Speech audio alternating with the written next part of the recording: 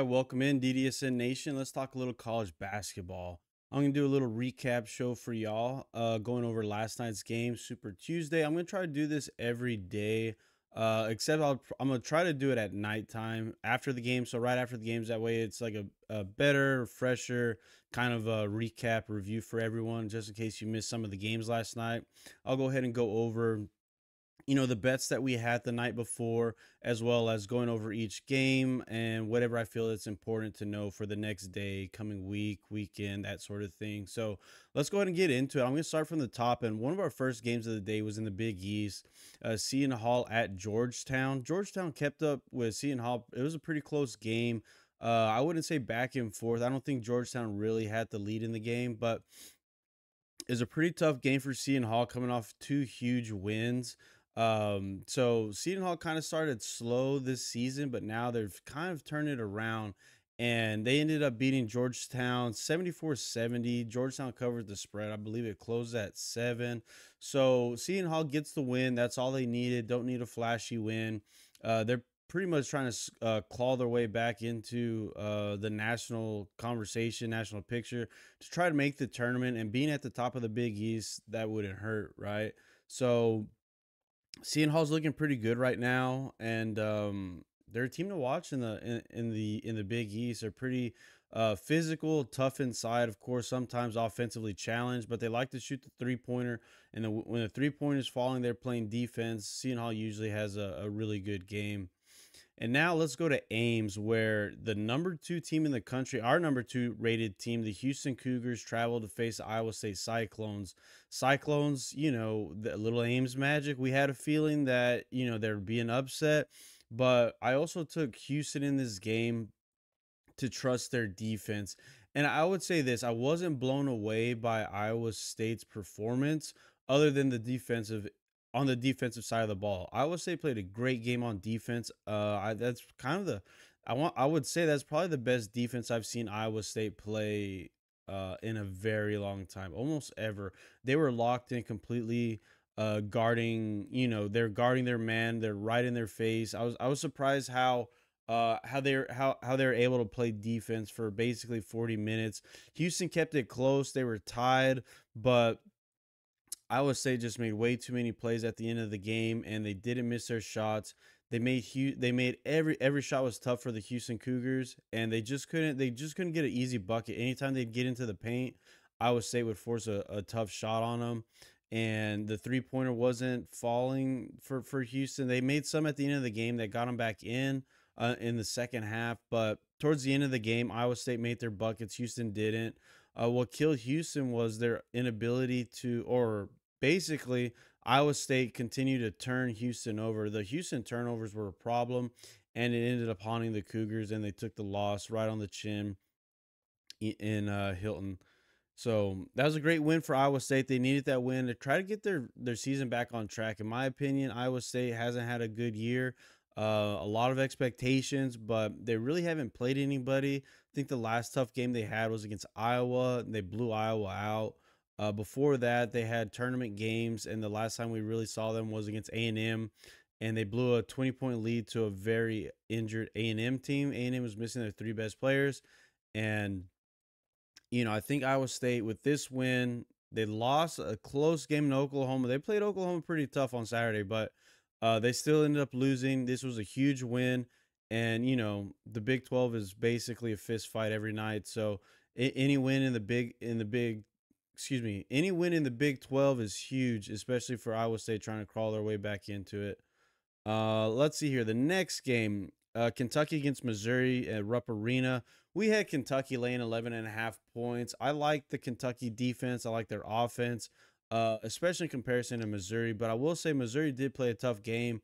Um, they went on a stretch there where they went on, I would say it was like a 10 to a 14 point run um, to get right right back into the game in the first half. But uh, K- Kentucky went ice cold. That was you know a little bit of adversity for Kentucky. They had um, I want to say, man, they went on a stretch there where they couldn't they couldn't uh, they couldn't make anything, especially from the three point line. They started the game five of eleven from three, and then after that, they went ice cold until the end of the half.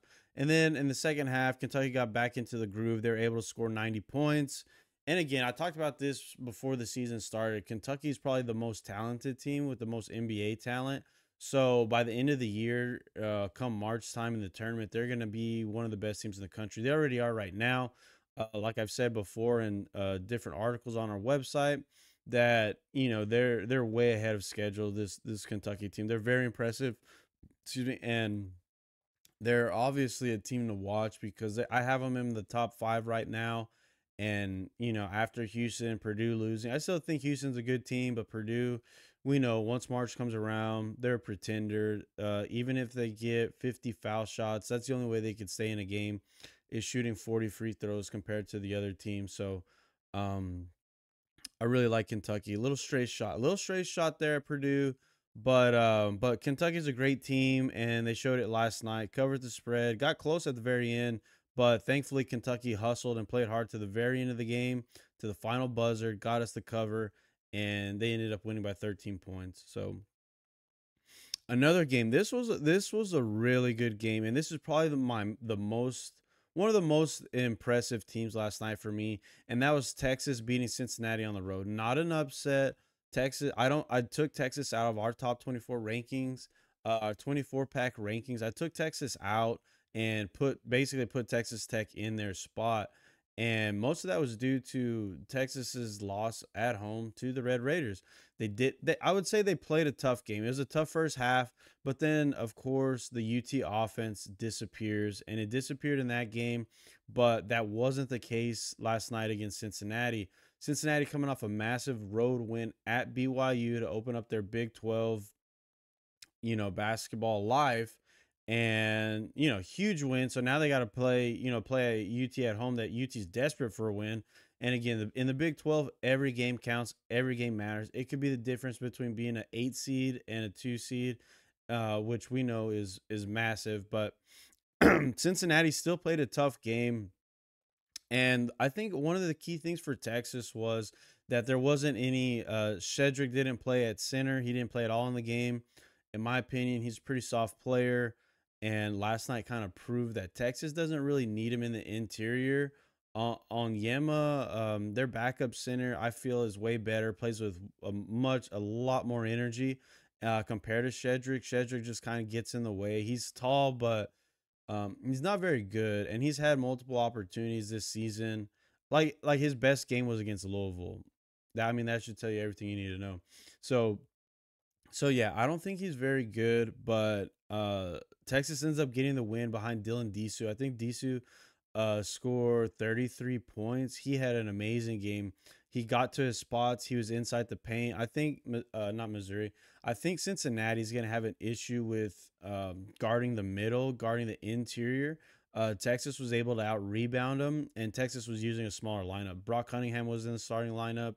Uh, Disu was basically playing a center and they had Dillon Mitchell, Abmas, and then Tyrese Hunter. Tyrese Hunter also played a great game. Um, but Cincinnati, Cincinnati still is a kind of a young team. But again, they have transfers. They have Lukosius. Lukosius had a great game. Their center, Laken, they had a great game. Um, so Cincinnati is going to be a pretty good team, but this was a massive bounce back for Texas. The uh, they made a bucket at the buzzer and they won. So watch out for this UT team as they crawl back into the national conversation. At least for me, for me, I could, I could, I could probably count, and I did because of the 24 pack rankings taking them out. I probably count 24 teams probably better than the Longhorns on a neutral floor. But you know, I mean, hopefully I'm wrong. But this was a massive win and great win for Rodney Terry and his crew.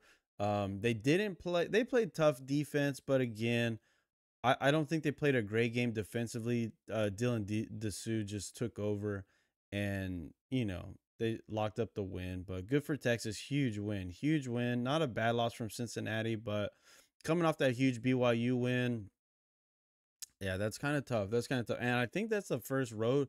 I think that's the first true road game Texas has won this year. I may be wrong, but I think I read last night where before the game they hadn't won on the road or they haven't won a true road game. So I think that was their first one. So that was a massive win for Texas. Uh, heading to the ACC, Wake Forest against Florida State. Wake Forest has been on a on a tear lately, but that came to a screeching halt against the Seminoles. Seminoles have been up and down, up and down, up and down all year. They again, it's a Seminoles team where they have five guys who are all like six seven, six six. So they all they really play positionless basketball, cover every position basically. Um, I like this Florida State team at the beginning of the year, but then they had some bad losses. SMU killed them. So I don't really know how good Florida State is. I didn't watch any of this game. I'm just looking at the score right now. Um, I know Wake Forest, they're coming off a couple big wins. Uh, overtime against Miami on Saturday. And I'm not sure who they play next. Not uh, same with Florida State, but that was a great win for Florida State. Probably a bad loss for Wake Forest, but it was a road game, and let's see if they bounce back from it. Another great Big 12 game. Kansas State going on the road against West Virginia. Uh, we had Kansas State laying two points. We knew Kansas State was a great defensive team.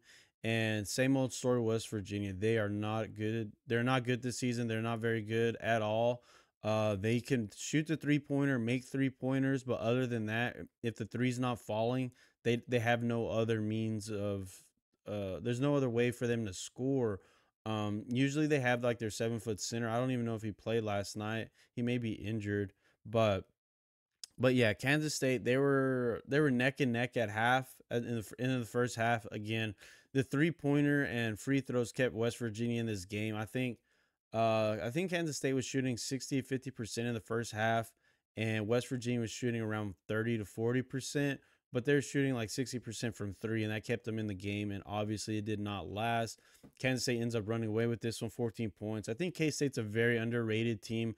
They play great defense, veteran squad. They got they got uh, Tylor Perry and uh, Arthur Kaluma, two great players. They lost they lost their center Tomlin, but I think this is still going to be a pretty good Kansas State team they don't uh, they're not ranked right now because I, I feel like they have a bad loss, but Kansas State's still a great team and they're going to be pretty good and tough in the Big 12. All right, Big 10 basketball. Indiana travels to Rutgers. Same story, different game for the Indiana Hoosiers. Indiana can't win on the road. Anytime they have a road game, they get blasted. I think they have one road cover, and that was against Michigan. But other than that, this Indiana team, they just they're not they're not very good.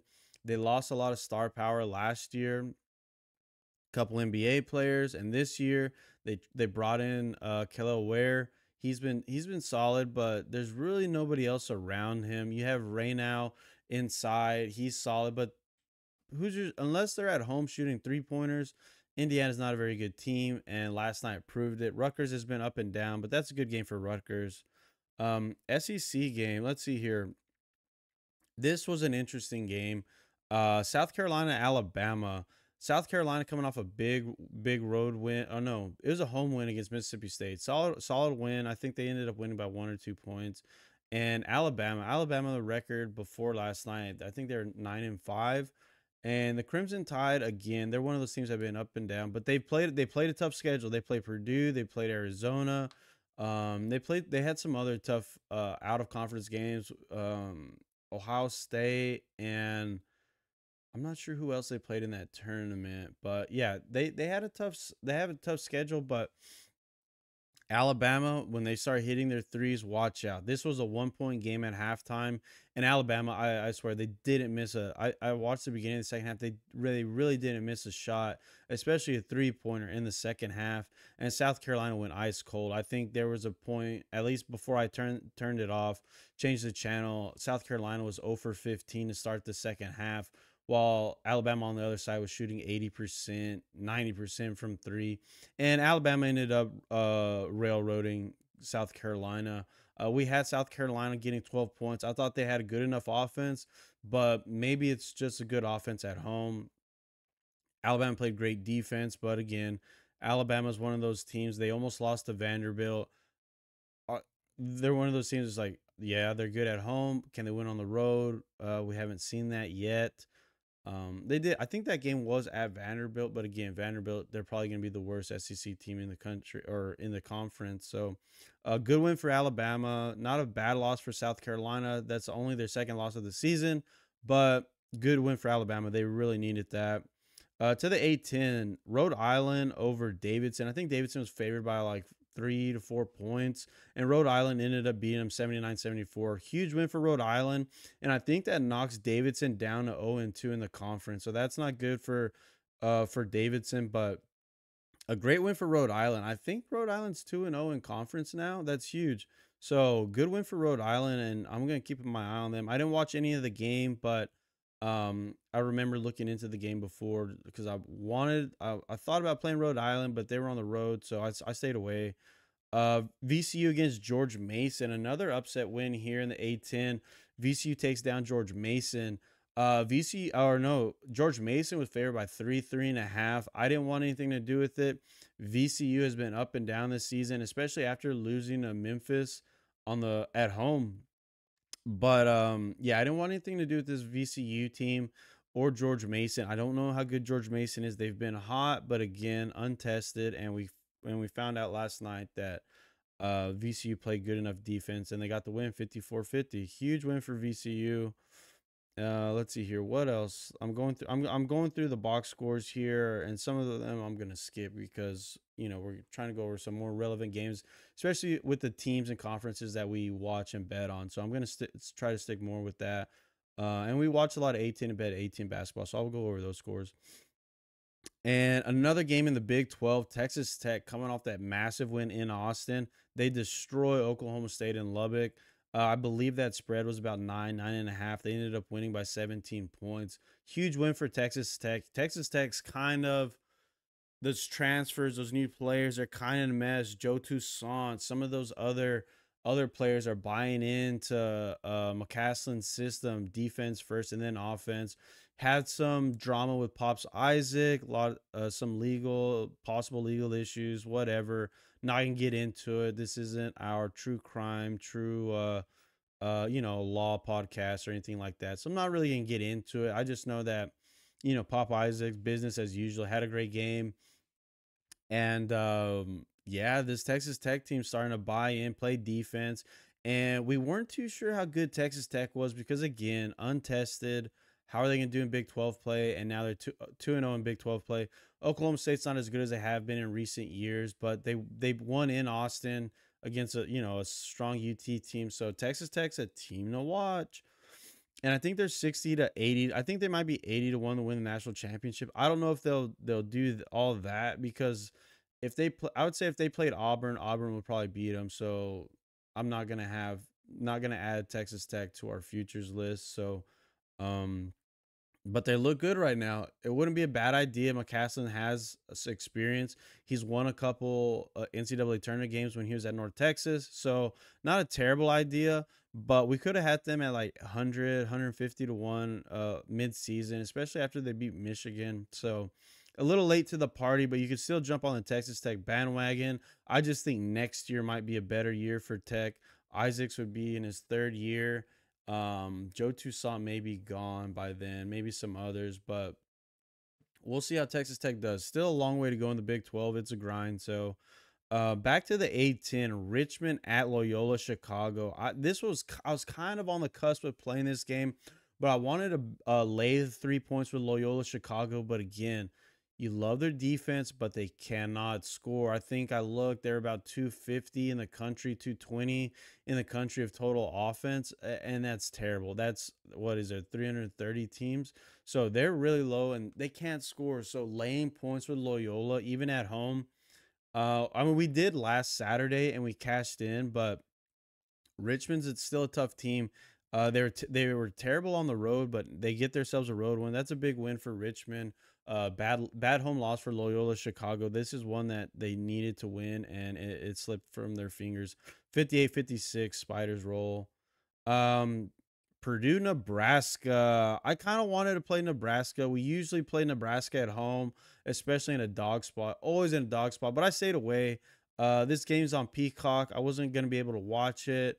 Uh, so I kind of stayed away. I was kind of like, eh, I don't really want to watch it, but I should have just played these Big Ten games. We would have, again, we we we we've been dominating the Big Ten. So, um, especially last week, I think we won every Big Ten game. Well, except for one, Michigan State, Penn State. I think we won all the rest. But uh, Purdue, again, these guys are pretenders. I don't care how how much people want to glaze uh, Zach Edey, but if these guys aren't shooting 40 to 50 free throws a game, they're not good, especially on the road. So when it comes to neutral floor, I don't want anything to do with Purdue. I don't want anything to do with them on the road. They get beat up on Maryland. Maryland 200th in the country in offense. So uh, to me, Purdue's a pretender in the long term. Zach Edey, you know, good for him. Pick up your NIL money, pick up your Purdue records. At the end of the day, you'll only be remembered as a giant guy who shoots 40 free throws a game. So, yeah, little little Purdue slander there, which I don't mind. Great win for Nebraska and Tommy Tominaga. Tommy Naga had like six three pointers, I think. Um, so he be, he had a he had a great game.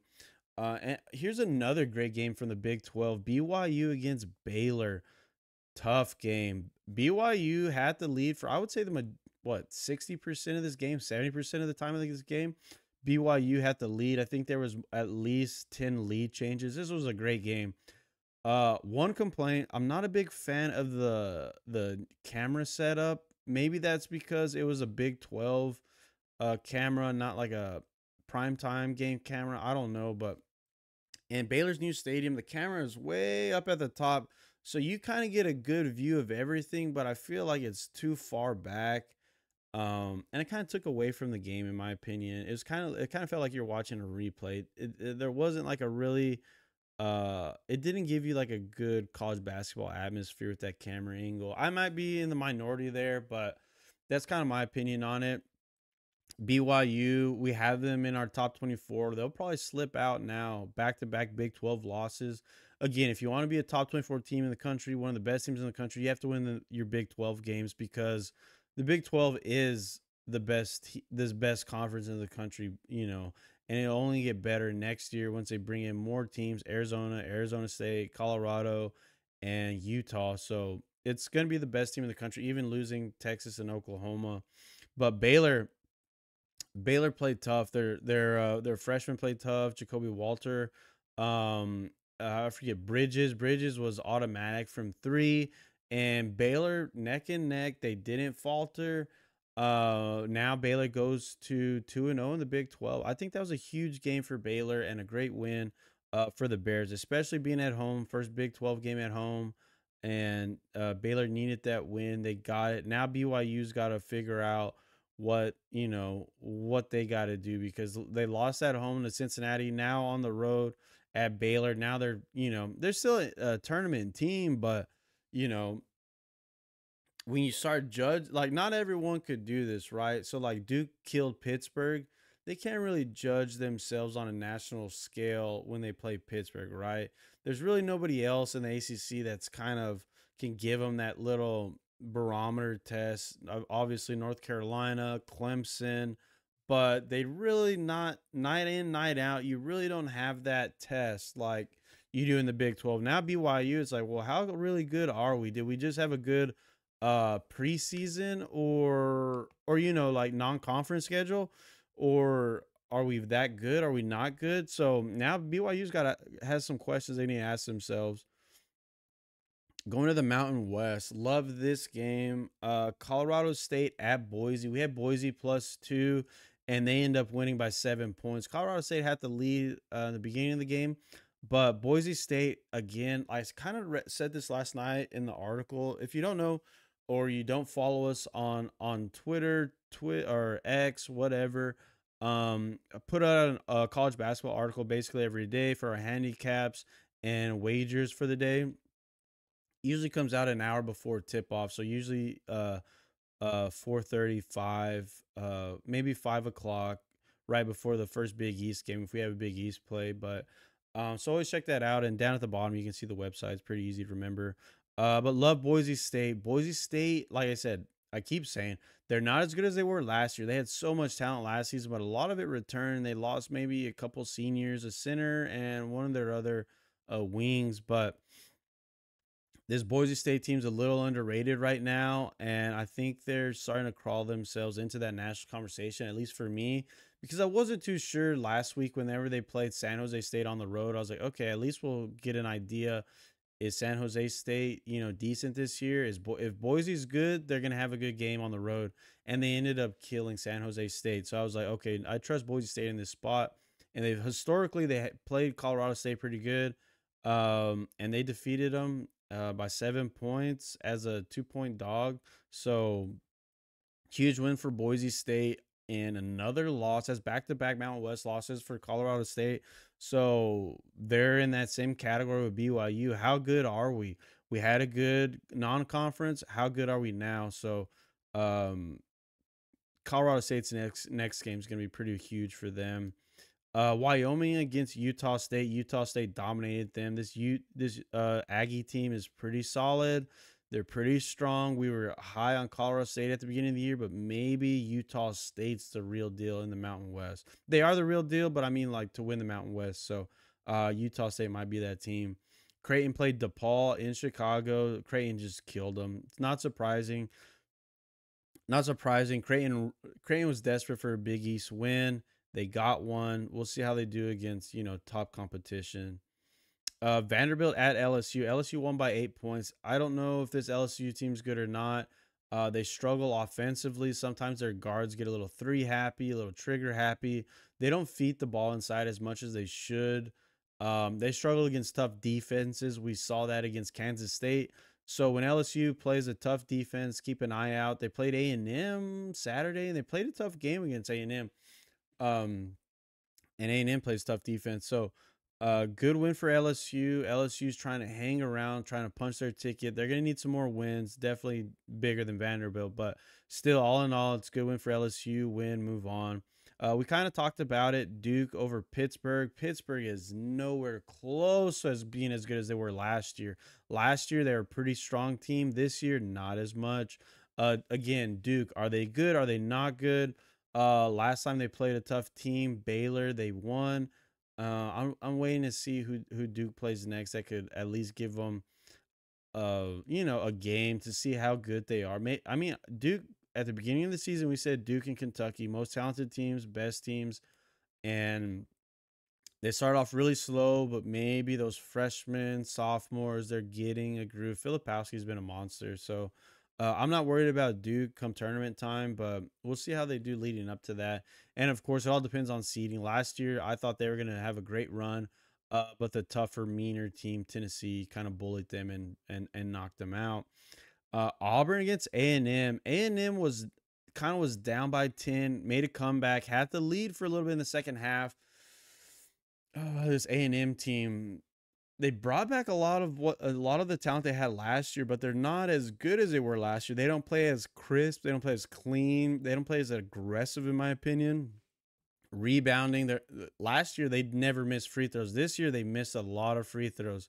Um, but you know they're still going to be a good team, and hopefully they can make the tournament. They should have made it last year. They kind of got screwed over, but um, another another impressive team that just keeps crawling up my power rankings is the Auburn Tigers. They've done it on the road at Arkansas. Arkansas is kind of pathetic right now, but they still did it and they still beat them by 30 points. So that's got to count for something. Duke couldn't couldn't win at Arkansas and they didn't even have Keyon Menifield then. So yeah, I, I don't I don't disregard the 30 point win for um for the Tigers in Arkansas and they've struggled against this A&M team for the past 10 years and what happened? They stayed calm. The guards took over the game. These Auburn guards, I thought they were seasoned last year. I think they're even more seasoned this year. And again, people forget this Auburn team was blowing out Houston in the NCAA tournament last year. What was that? A Sweet 16 game, I think.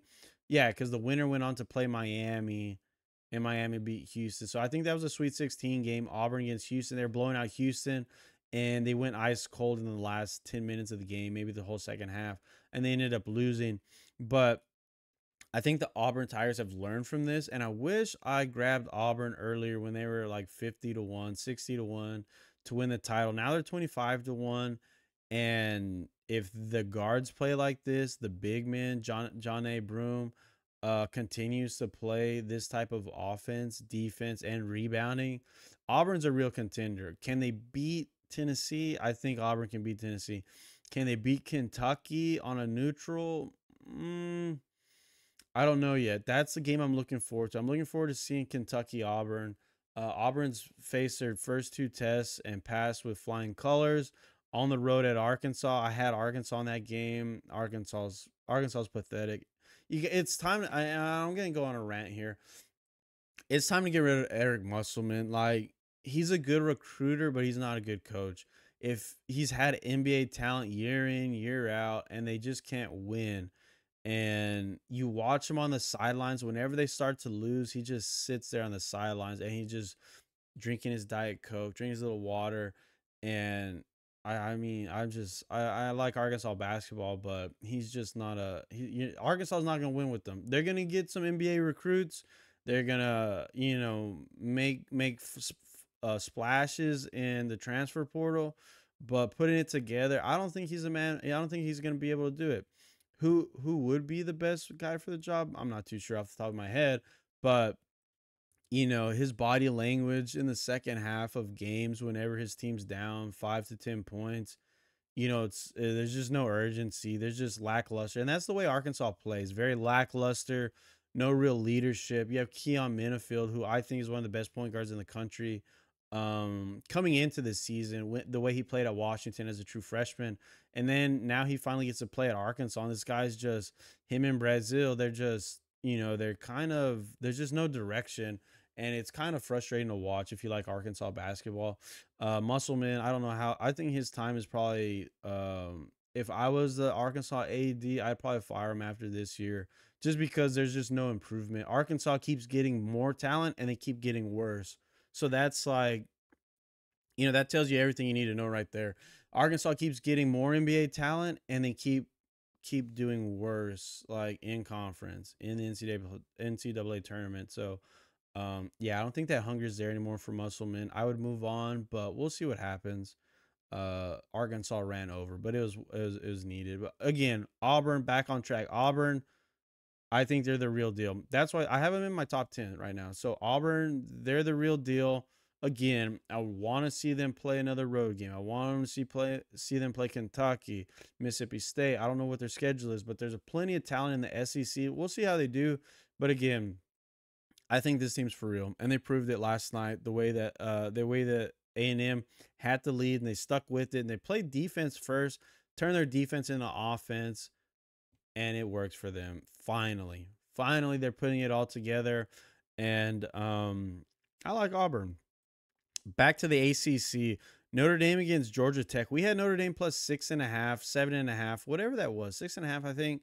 And I love Notre Dame in this game. Their offense, I think they're finally starting to figure it out again. Very young Irish team, very young. They're going to be good next year, two years from now. They're going to be really good two years from now. But they're kind of, I think they're kind of getting ahead of schedule here. So, which is good. Shrewsberry, they he moved his son to the bench, and he had a great game last night. I think he had at least 17 points. Uh, so that's, I guess that's starting to work for Notre Dame and the offense is there. Offense is over there, always there. But Notre Dame's a little undersized. That's why I thought that they would struggle against Duke. I wish I watched that game, but I didn't. I didn't watch it. Um, but they they hung tough and they covered whatever that spread was against the Blue Devils. And I thought that they had a chance to win last night. I said I said it in the article and they ended up getting the outright victory. Georgia Tech had a crazy three pointer at the end of the game to send it to overtime, but thankfully Notre Dame rolled in, o- uh, in OT. Georgia Tech only scored uh, two points, I believe. So great win from the Irish. I'm going to keep my eye on them. Been watching them all season. So really nice win in the ACC. Uh, back to the Mountain West. Nevada beat Air Force. What was that? A 13 point game. Uh, I believe I believe the spread was 14, maybe 13 and a half in that game. So I think Air Force may have covered. I thought Air Force was going to be a lot better this season, but they've been getting rolled by everybody. And that's a good win for Nevada. Again, not heavy competition, but those are the games that you have to win at home to keep in that conversation nationally and in your conference. Uh, which brings us to the next two games. UNLV hosted New Mexico.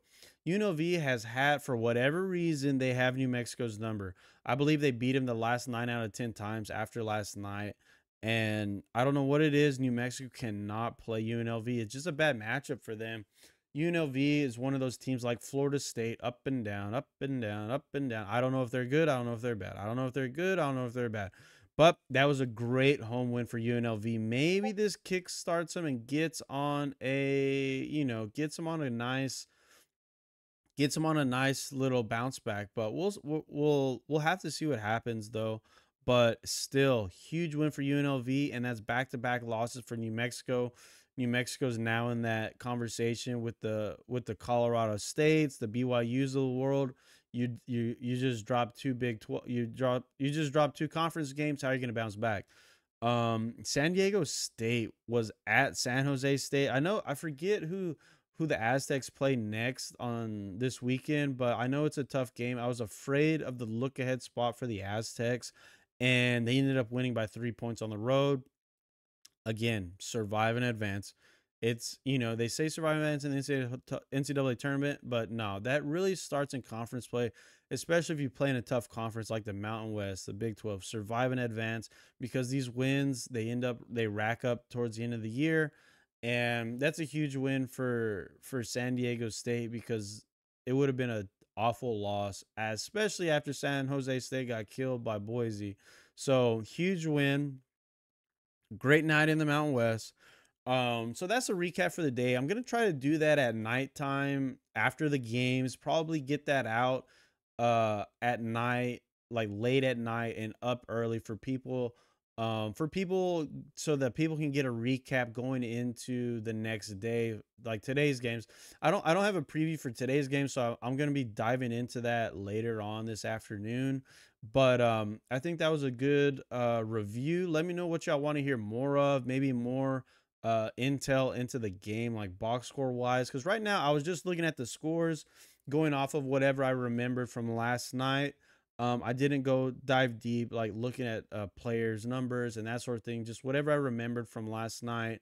And um, let me know if y'all want to see or hear something different or add something or if this is good. So just let me know. I'm going to just keep making these and I'll add these videos to the article that I post every day. That way some people can check it out, get a little refresher before the next day and at least a refresher heading into the weekend because you want to know some of this information again heading into Saturday, Sunday games. I think Big 10 sometimes they double up and play Fridays but um, it's just good information and it helps me remember and just go through everything. So uh, let me know if y'all want to hear something else or some more, whatever. Uh, just give us a like, comment, of course, subscribe. But I appreciate it, and we'll see y'all later. Hopefully later tonight, and and uh, we'll do another review. All right, we'll see y'all.